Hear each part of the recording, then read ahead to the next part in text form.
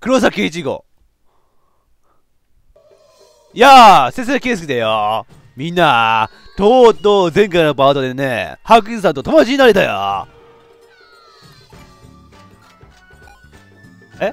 でさ、この後どうすればいい？ミサイちゃん、ハギさんと友達になってきたよ。もう大丈夫なのですか？はい。そうですか。ならば次ですね。次って何かあるんかな？それではビット4のデータを見せてください。え？七志くん、何その反応？ビット4のデータの中になんかエッチな画像とか入れてるの？七志くん。しっかり友達作りを行ったのかの確認です。私も一応は盗聴器を通じて聞いてはいましたが。なるほど。ああ、ずっとオンにしてたね。まあ、いっか。はい。奈良市さんの現在のフレンドリストの数は5人ですね。もう少し頑張ることはできたのでは 何そのダメだし みさえちゃん、奈良市くんのなんなん？いえ、なえっ、ー、と、奈良市さんのペースもあるでしょうから、私からは何も言わないことにします。みさえちゃんがアドバイスをくれるおかげで、前よりはすんなりと友達になることができたよ。以前はどのようにしてたのですか？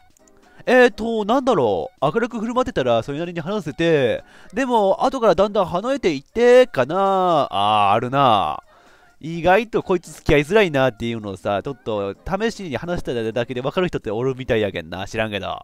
適当。その離れた理由とは？うーん、それが分かったら、俺のフレンドリストは今頃マックスでパンパンなんじゃないかな。それも、そうですね。何その残念そうな感じ残念な人を見るような顔をやめろミサイちゃん。で、友達になった後って何するの？何もしないでください。何もせんのかい えなんで？原因がはっきりしておらずとも、私にはなんとなく察しがついています。奈良さんは長く付き合うとダメなパターンです。奈良さんは少し人とずれてますから、少しこれ以上付き合うといえ、とにかくこれ以上は大丈夫です ちょっと、いえって言ったのはさ、これ以上言ったら傷つくだろうなってことだろうけどさ、もう十分それまでの言葉では傷つくぞ、これ俺の気持ち悪さがにじみ出てしまうっていうことかな。ナイスさんは自分を気持ち悪いと思ってるんですかうーん、前の学校で散々そう言われてたからし、そうじゃないかな。他己評価だけでなく、自己評価も大事にしてください。俺はあのことを地球上で最も不利益な存在だと自負してるよわあ、なにこの 世界一ポジティブなネガティブなんだこれ そうでした。ナイスさんはそういう人でしたね。呆れられてる。呆れられてるよ、お前。この吹き出しがもう物語っている。私もナイスさんに案内していただいた町の住人とはいくらか知り合い、情報収集に協力してもらう約束をしましたし、いつしてんだなあ、ミサレちゃんすげえなさすが警察か。今度は違う場所で友達探しをするのもいいかもしれませんね。新しいところ行くんか。えいつの間に？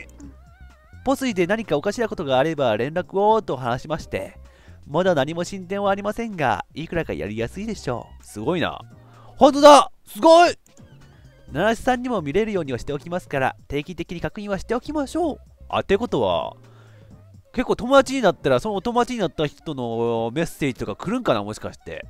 ってことはさ、白衣さんからさ、何か、七瀬さん、今度ここに一緒に行きませんか？みたいな、そんな感じのこと来るかもしれんな。うわー、楽しみ。うん、少し、うん、うん、違う場所か。少し歩くけど、ココアリーとかかな。何その喫茶店で出てきそうな名前。ココアリー？カフェとかおしゃれで落ち着いた店や独特な雰囲気が特徴で、よく疲れたサラリーマンの人とか癒されに行くらしいや。疲れたらサラリーマンの友達になるんですか？何その言い方疲れたサラリーマンの人に失礼だぞ、お前。まあ、他に人がいなかったら、若干不安が残りますが、わかりました。同行します。ハッカーも次にいつ来るかわかりませんし、注意しておいてくださいね。よーし頑張ろうえいえいおー。ハニークローバーブレイクソウル。何その曲名みたいな。そのブレイクソウルってな、ビーズの曲名にありそうなやつなんなの？チャプター2、ハニークローバーブレイクソウル。頭悪い名前やな。あ あこの構図おい、この構図だったらちょっと、ナーシンカミサリちゃんにキスしてるみたいに見えてるぞ、お前。そんなわけないよな。ってことは、新しい街行けるってことで、ポスリ見よう、ポスリ。あ、ココアリーって出とんな。あ、協力のメッセージも出とんね。ココアリは落ち着いた雰囲気で、カフェとかも多いから、癒しスポットとしても有名なんだよ。聞く限り大人の人が集まりそうな場所ですが、大丈夫なのですか？綺麗なお姉さんがいいなーデコピンしますよ かわいい。デコピンで、デコピンで、デコピンするとかかわいいな。綺麗なお姉さん。やっぱナーシクもそう思うか。俺も。おっぱい大きい人がいいもんね。ああ増えとる。これか。来ました、ココアリー。すごい大人の雰囲気。で、ココアリーって名前でさ、なんでこの街の色までココアっぽい色なんだろう？なんでかどうか考えながら行くぜ。おっと、一人目の相手がいました。これ僕っ子かな？女の子かな？男かな？うん？あの人は？前にみゆみさんの心配をしてそばにいてくれた子だよね。ここに住んでる子だったからな。あ、おったわ、そういや。あー、おったな、なんか、話かけたん。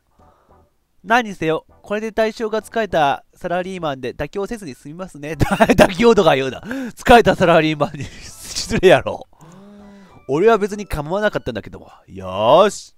こんにちはわ、わー、わーが、あー、ごめんなさい。突然挨拶されたのでびっくりしちゃって。あれお兄さん、前にも会いました。よねそうそうそう、あったな。うん、俺、らしいって言うんだ。君は？男の子かなこれ。わ、めっちゃいい子そう。教育とかめっちゃいい感じで受けてそうやな。ここはフラワーショップかな素敵だね。そうです。配達するときは僕がお客様のところまで持っていくんです。お母さんもお父さんも方向音痴だから。なるほど。その二人から生まれ落ちたのに、ハリア君は大丈夫なんだ。えー、っと、地図を見ながら行ってるので、少し頑張れば、あ、それ多分、地図にいたよって結局道覚えれないタイプの人間だよ、それ。俺やって何ばっか見てて車運転するから全然道覚えれないタイプなんだ。同じだね。受け継いではいるみたいだな。あ、あの、ナースさんはここに来たのは初めてですか？そうだね。町の名前くらいは近所だし知ってたけど、なんで？そうなんですね。最近、向こうのガーデンの花壇が少し荒らされているらしくて、何か知らないかなって。お？み、みされちゃん、はい。それはいつ頃からですか？うーん、1週間ぐらいかな。毎日何本か乱暴に花が手を、えっ、ー、と、倒られてる。倒られてるってものだったっけな、これ。倒られてるみたいで、花壇嵐。あ、これがハッカーでハッキングされた人の仕業かっていう話かな思い当たる人物はいますか？ずっとここに住んでいますが、ここに住む人は本当にいい人ばかりなんです。だから全然わからないです。はあ。疲れたサラリーマンがストレス解消にやってるとかそういうんじゃないよね。結構悩んでるみたいだし、友達になろうぜって言える雰囲気じゃないよね。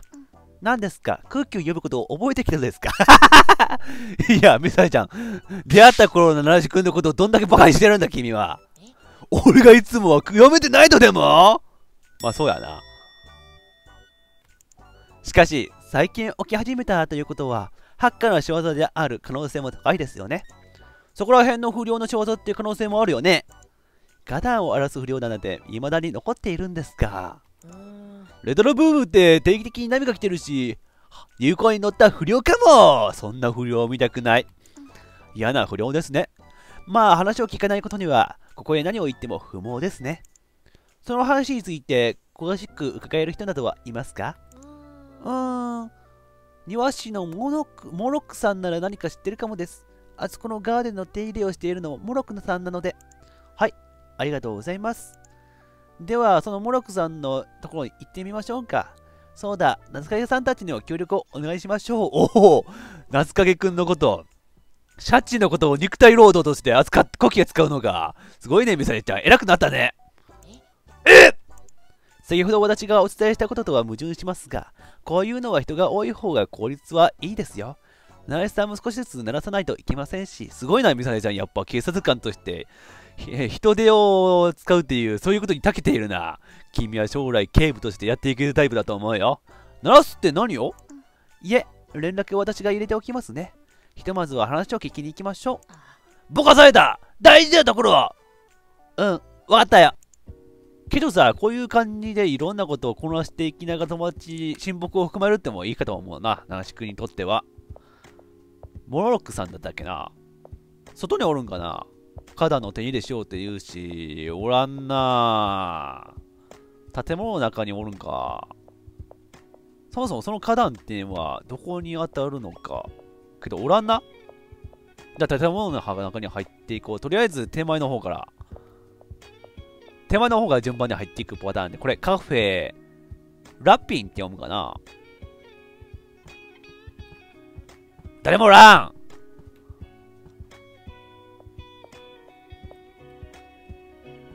誰もおらん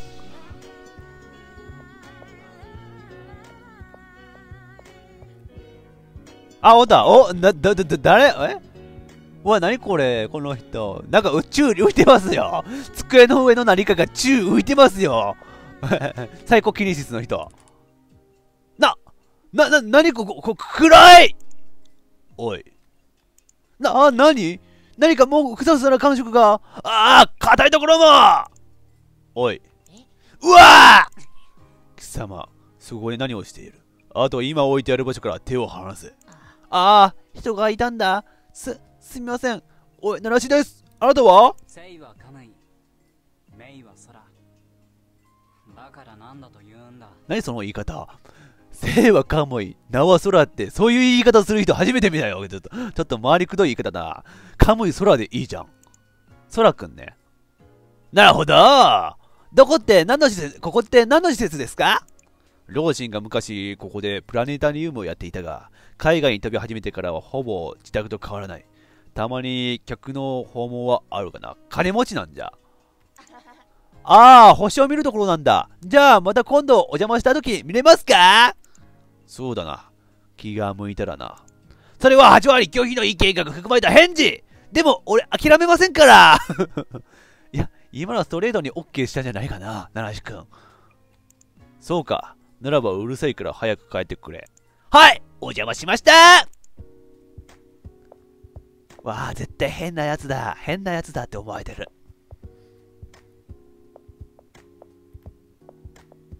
ここ。なんて書いてんこれ？えー、何読めんな。チャイドール。チャイドールって書いとったな。おおなんか人形扱って攻撃してきそうな敵キャラみたいなのがおるぞ。前言撤回結構美人だ。わあ、攻撃されたい。なんだろう。すごく怪しいバージョンだな。あらお客さんかしら。珍しいわ。ああ、いい、なん、引用だったか、ね、えー、まあ、結構いやらしい的な意味で使える言葉だな、これ。若干怪しいお姉さん。俺、七しっています。お姉さんはおっと食いついてる七しくん。こういうタイプもありだ。と思っているタイプだね。うふふ私。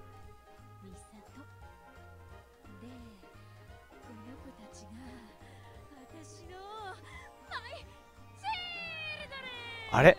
前の街でも似たような、似たようなタイプの人いたような気がする。え？ね、人形？ほら、怖がらなくてもいいのよ。ほら、挨拶もできるし、心だってあるの。あ、本当だすごい技術ですね会話ボタンも、いやー、子供程度であれど、ほぼ人並みに会話できそうですね。なんかのショーでも撮れそうですよ。すごいだなんて。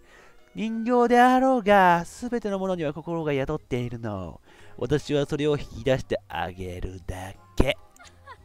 そうなればもう一つと同じくらい。いいえ、同じよ。そう、そうなればみんな私の可愛いマイチャイルド。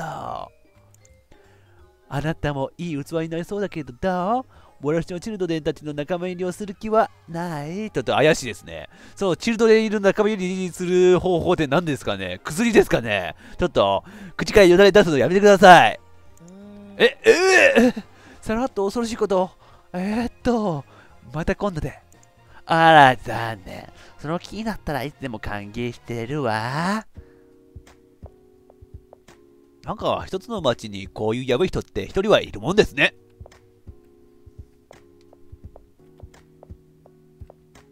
ピン、ピナタ？ピナ、リナタか。リナタ？リナータ？あ、棒が入るのね。おーっと、まともな人がおってよかった。おおボーカロイドみたいな感じの見た目だね。な、なんだか俺じゃ入りにくい雰囲気だ。あら、いらっしゃい。何かお探しかしら？あ、えー、っと、えー、っと、ファッションの方は疎くて。あら、そうなの？大丈夫よ。ここならどんな人でも生まれ変われるから。そうなんですか？俺、楽しいって言いますこの店のオーナーとデザイナーもやってるわももりさん。あ、お名前だけ伺ったことがあります。